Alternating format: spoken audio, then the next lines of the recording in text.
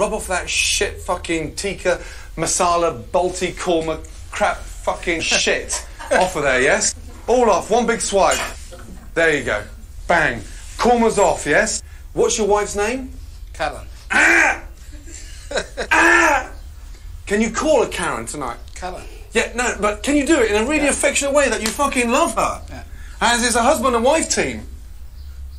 Because the minute you two start fucking showing some form of affection and respect, everybody else follows. Ah! That was you grunting like a troll, looking for your fucking spanner. No, but it, it, serious. And I was standing there like that.